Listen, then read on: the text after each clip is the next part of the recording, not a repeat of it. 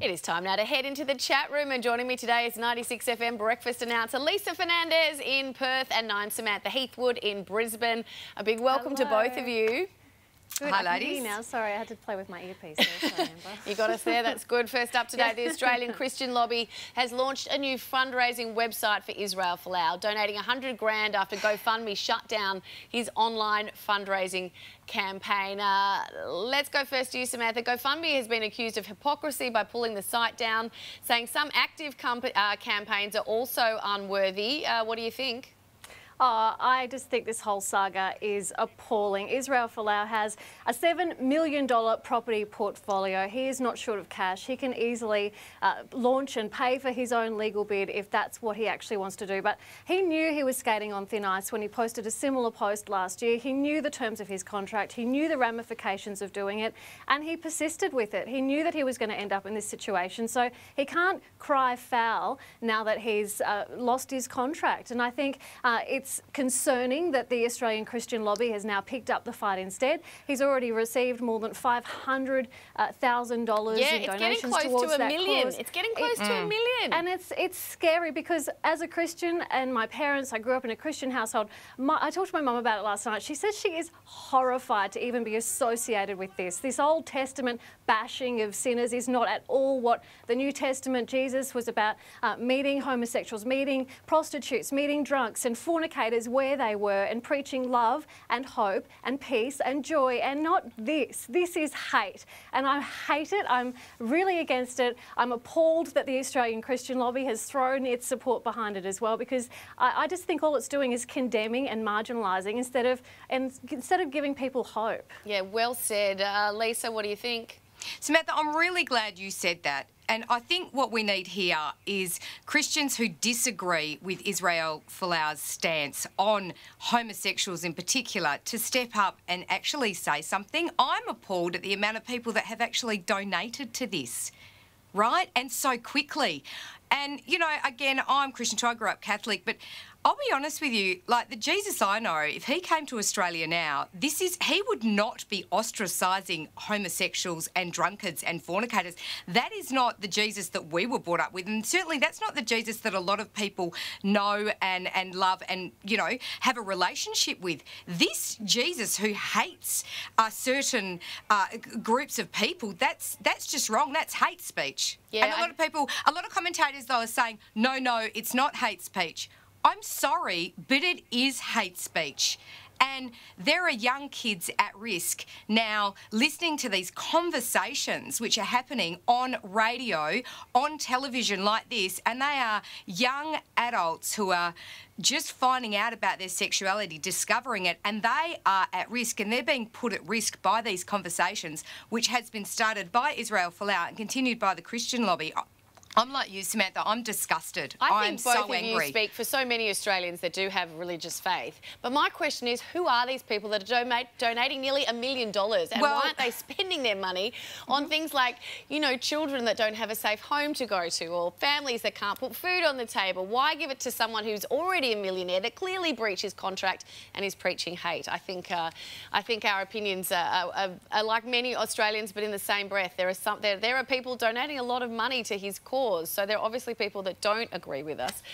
Uh, yeah, we'll wait to see how it plays out. All right, we do need to move on, and media companies will be liable for comments made by readers on their Facebook pages, according to a landmark decision in a New South Wales court. Now, the ruling stems from a lawsuit from former Northern Territory youth detainee Dylan Voller, who sued five media outlets over comments that were written about him. Lisa, this sets a very dangerous precedent. Surely, if anyone's responsible, it's the social media company like Facebook, not the media outlets that are publishing the news content. See, Amber, this is a really hard one because we're in the media, right? And I'm sure all of us at some stage have been trolled. Okay, so yes. just say, right, Just no, I know this, and this is, I, I understand that. Okay, so just say we are on, and suddenly they put up this bit on the Channel 9 Facebook page, and wow, on this particular subject, on the Israel Folau topic, we will be trolled. So then who then polices those comments which say, But I want Amber point. to die and I want to 9 kill can't- Lisa? Can't turn comments off Facebook, and I think that's the difference. If they could turn comments off, I think it will be fine. But the fact that Facebook won't let um, someone like Channel 9 turn comments off means Channel 9 can't be responsible for, for messages that they write on their Facebook page. But aren't you know we I able to delete our own messages on like vehicles like our own Channel 9 Facebook page? Unlike Instagram, I don't think there's a button that you say no comments allowed. Uh, Sam, Right, the fact media organisations can be held responsible seems a bit, a bit crazy. What do you think? Oh, I think it's abhorrent. I think that individuals, uh, members of the public who make these comments should be held accountable themselves. I mean, the faceless keyboard warriors are protected, and instead it's the media companies that are really just disseminating uh, the information. They're not actually saying a point of view either way, they're just sharing the information. Uh, and yet they have no way of shutting it off. You can't actually turn the comments off on Facebook, so there's no protection there. Uh, I think people need to be accountable for what they say. Uh, they need to uh, think about what they're going to write about somebody. But yeah, you're right. I mean, I have been trolled. It's horrible. Uh, it's embarrassing. You feel like um, the, the lowest person on earth, but you also develop a bit of a thicker skin as well, and you realise that you can't control what everyone's going to say But you about make a good point. Let's make people accountable. Let's make the trolls accountable for what they're saying. You can't be an anonymous keyboard warrior. Get the IP addresses and get you know fines shut in it place down. and shut them down. Yeah, the courts it's should be not shutting the big those people media down. Mm-hmm. organisations. It's the individuals that need to be called to account. On that Called note. Out. And in-ground lights could be fitted to pedestrian crossings to stop people distracted by their phones from accidentally walking onto oncoming traffic. Adelaide Council is hoping to implement it in a bid to improve pedestrian safety. Sam, what do you think?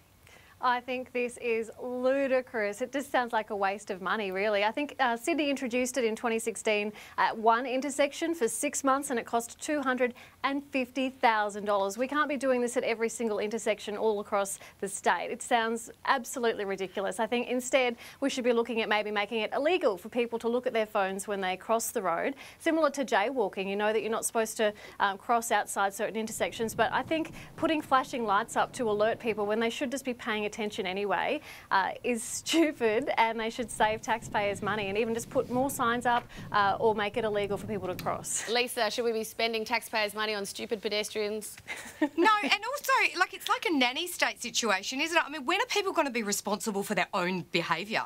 When are people going to realise, look, this is not a smart thing to do, keep looking down at my phone and walking? And you're right, uh, Samantha. And, and, and another note, just say, like, I can't stop drinking red wine, so what, shut down all the bottle shops? Because Lisa can't stop going in there after work. You know what I mean? Like, when am I responsible for my own behaviour? You can't.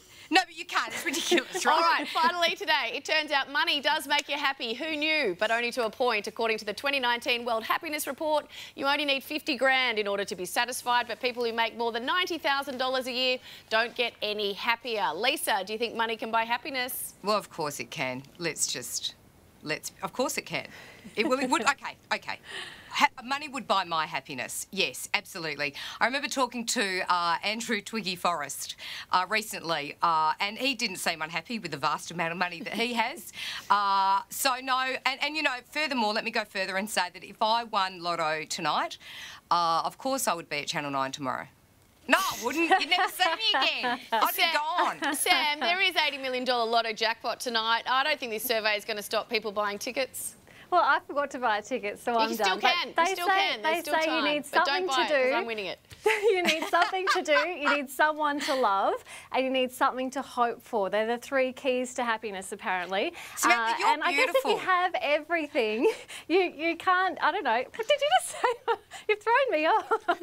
no, I think uh, apparently you need those three things to be happy. right. So uh, if you had everything already, then you had nothing to hope for. We you? do have to leave it there, Sam and Lisa. Thank you so much for joining Thank us you for having. Chat room. It's been fabulous.